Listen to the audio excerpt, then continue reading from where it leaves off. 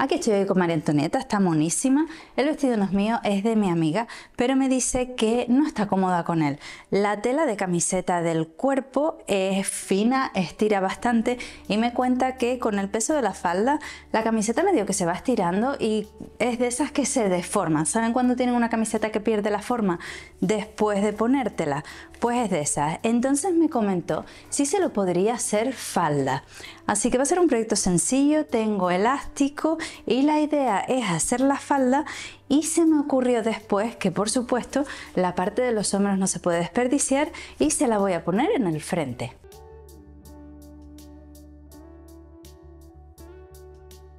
Me apasiona el tema del reciclaje, creo que transformar cosas que no nos ponemos es ideal. No tiene sentido tenerlas guardadas en el armario, pero si te gustan y no quieres regalarlas, donarlas o simplemente tirarlas, aprovecha y haz algo diferente con ellas. Este vestido que tengo puesto era una bata de mi madre de hace 40 años y ahora es un vestidito de verano.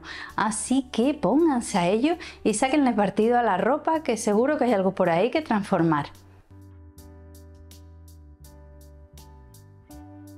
Así que lo primero es empezar a desarmar el vestido. La parte de la falda simplemente la voy a cortar y después la parte de los hombros, ah mira, tiene un elástico como para fruncirlo. Mm, vale, la cosa de los upcycles es que muchas veces no sabes con lo que te vas a encontrar. Yo pensé que esto estaría fruncido con hilo, pero no, por lo visto tiene un elástico debajo. Vamos a ver cómo lo quitamos sin que se deshaga todo.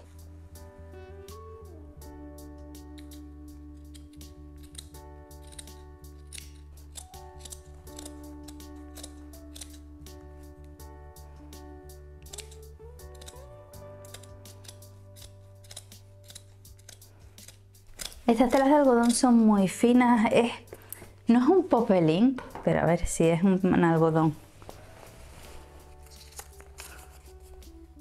Sí, 100% cotón.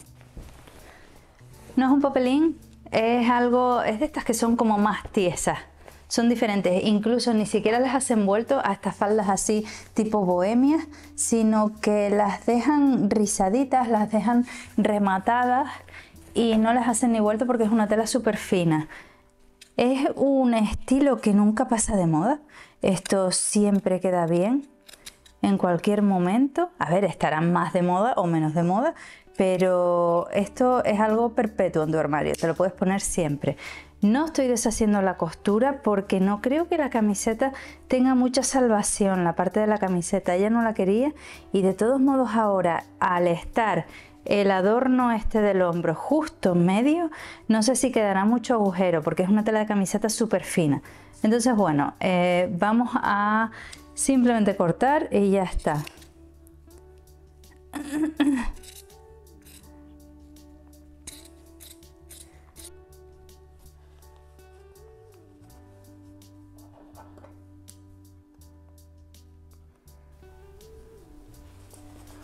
Sí, esto se va a ver si no se deshace la costura del elástico. Hay dos costuras. A ver si quito bien la que es del, de la camiseta y no la que es del elástico.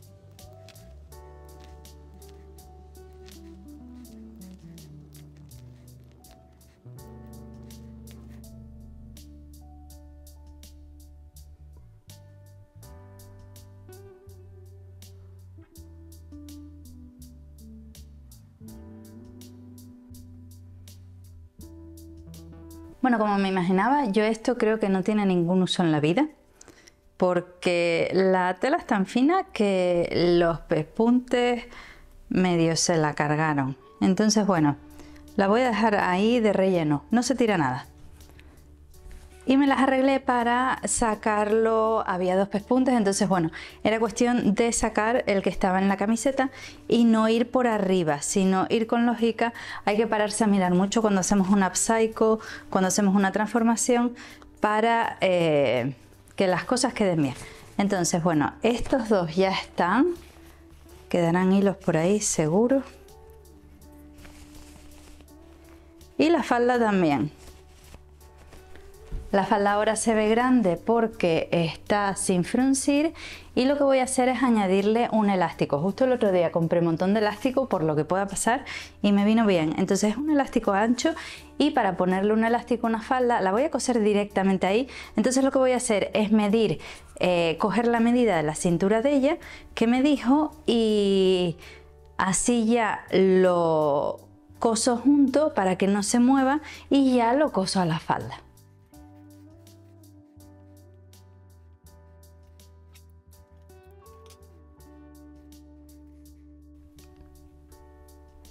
Así que esto lo voy a coser uno sobre de otro, simplemente darle unas puntadas en zigzag y después coserlo a la falda estirando.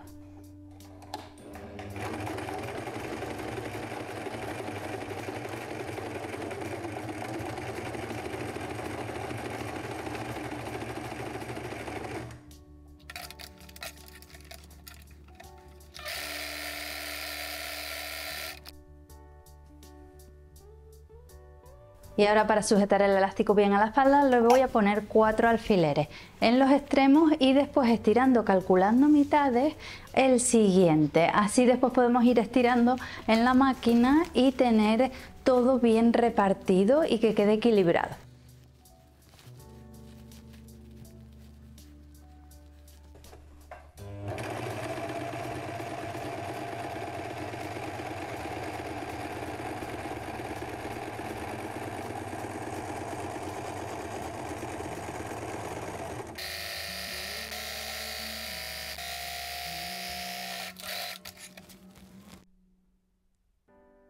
Bueno, esto tiene buena pinta. Al hacerlo por fuera, después al subir al derecho se ve bien. Y lo que voy a hacer es de nuevo meterlo hacia adentro. ¿Por qué? Para que no se vea desde fuera, que quede como una especie de pretina y solo lo voy a hacer una vez. Lo ideal a lo mejor sería hacerlo dos veces para que quede escondido y quede ya como una pretina hecha. Lo que pasa es que no creo que ella quiera perder altura de la falda y así perdería casi 10 centímetros porque estamos dando dos vueltas.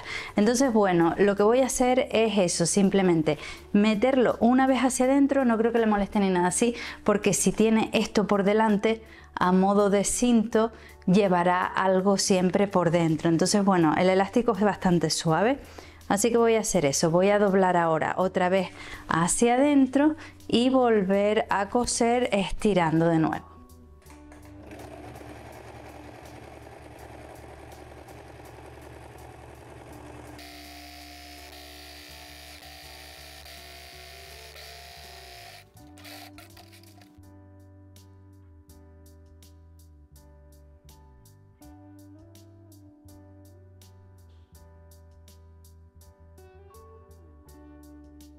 Y para finalizar fue cuestión de coser el adorno que tenía en el hombro previamente a la cintura de la nueva falda, simplemente estirando ya que tiene un elástico y cosiendo por el centro, por encima del elástico tal y como estaba cosida en el hombro.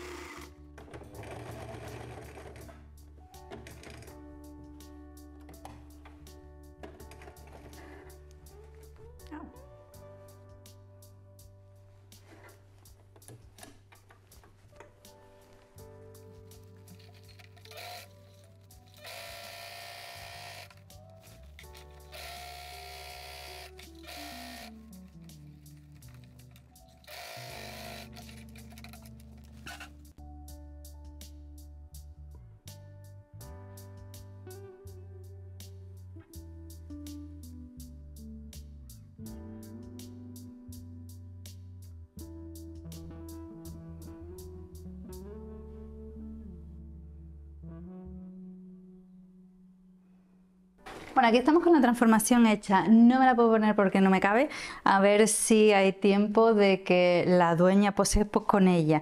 Me gusta mucho cómo quedó y me gusta también eh, que en la parte de los volantes en la zona negra eh, quedó muy disimulado porque los cosí.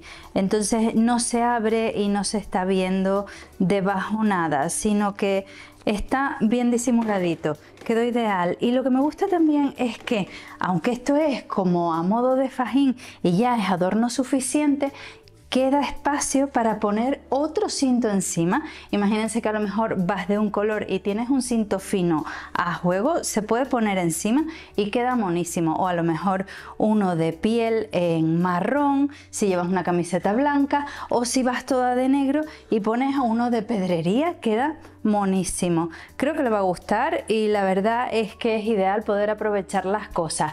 Aprovechen todo, no tiren nada. Este vestido que llevo yo era una bata de mi madre de hace 40 años y ahora es un vestido de verano.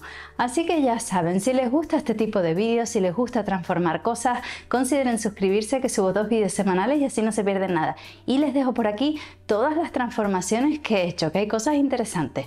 Chao.